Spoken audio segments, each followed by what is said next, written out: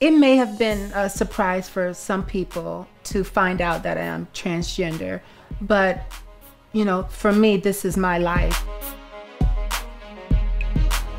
The truth of the matter is, even though I'm on hormones, I feel like myself. I don't feel like the medicine has made me feel any different than what I've always felt. From a child, I've always tried on my grandmother's dresses or my mom's dresses when she left the house. That's who I am. I was never molested. I was never brought up around, I don't know, trans people, gay people, you know. I had none of that influence. All of this is genuine and authentic from a child. So for me as an adult to be able to express myself physically, it just makes my life completely complete. When we first met, she was definitely. I was confused. I was like, wait, I don't like. She's really hot. I was I a guy. She was a guy. You know, I was like, oh, I don't know.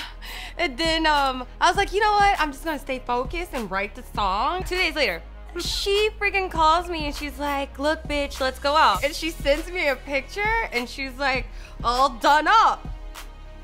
And then I was like, oh, okay. When she saw me in person, I was like maybe three days away from throwing out all my guy clothes. Not to even transition on hormones, but just to start wearing more feminine clothes. And two days later, from a boy, she saw, I sent her a picture, fully done face, hair, dress, shades, lipstick, everything. And I was like, this is what I'm giving tonight. Well, I'm super protective over her because it's just, you know, there's just a lot of mean people in the world. And I know that, you know, it's sometimes it might be a little bit difficult for her as far as viewing, um, you know, the transgender community. I mean, right now, trans the word trans, transgender, there's a lot of fascination with it. It's always been fascination with trans community since the beginning. Thank God now that we have different options, you know, to be ourselves. We don't have to hide in alleyways giving guys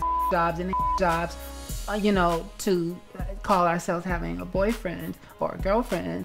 I'm happy where where we are right now and I think the more exposure for the trans community is the best. And the fact that we're not the same. is just like black people. Some black girls don't like, you know, um, different things that other black girls like, or some trans people are different. Some trans girls really want to get married. Some trans girls just want boyfriends. That's fine too. Everyone's not a fashionista. There's some very serious trans people that are trying to save the world. I'm just trying to stop my mom from working two jobs. We'll start with that.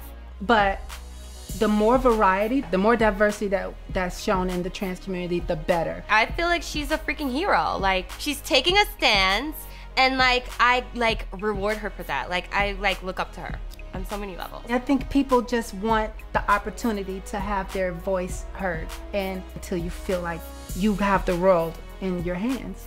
A lot of times you can't really get your voice heard the right way. And that's another reason I want to do the show. Love and Hip Hop is still a platform, and I have definitely have something to say.